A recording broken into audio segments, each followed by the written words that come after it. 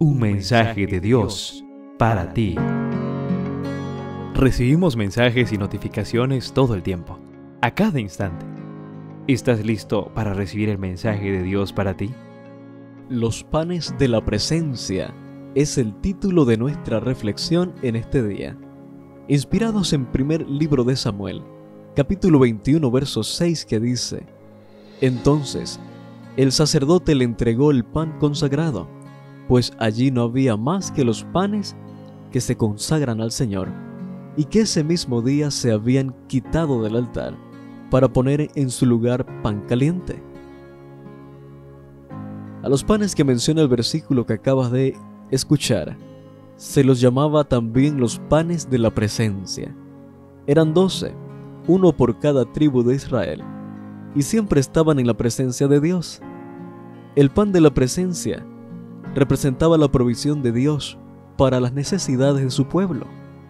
El hecho de que había pan en la presencia de Dios significaba que Él era la fuente de toda provisión. También los sacerdotes debían comer dichos panes en la misma presencia de Dios. Compartir una comida con alguien es una forma de tener un compañerismo cercano con esa persona. De esta manera, vemos reflejado el interés del cielo en crear un compañerismo más estrecho con la humanidad. Sabes, llegué a la iglesia justo cuando era hora de presentar el sermón. Cuando me acerqué a la puerta, una dama de las que trabajan en la calle vendiendo su cuerpo se me acercó y con una mirada suplicante me pidió que la escuchara.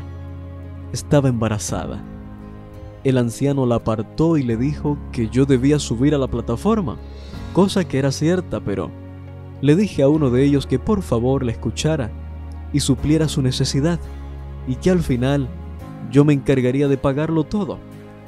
Así que subí y comencé a predicar.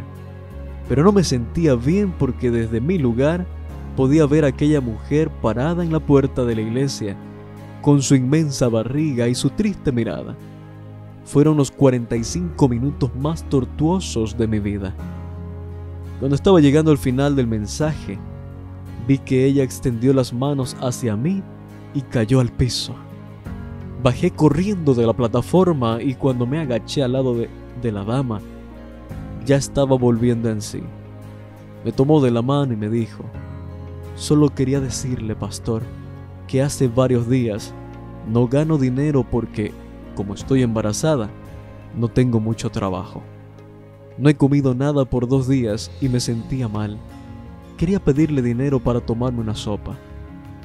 Le pedí perdón, querido joven, por no haberle escuchado y actuado en el momento oportuno.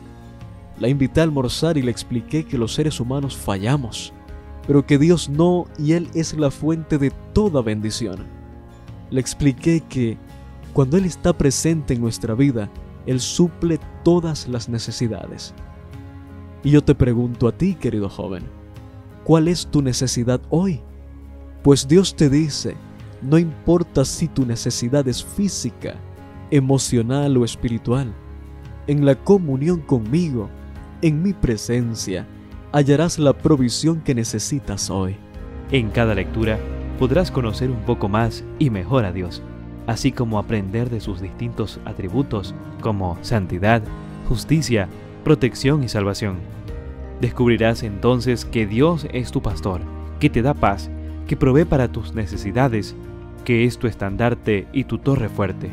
Un mensaje de Dios para ti.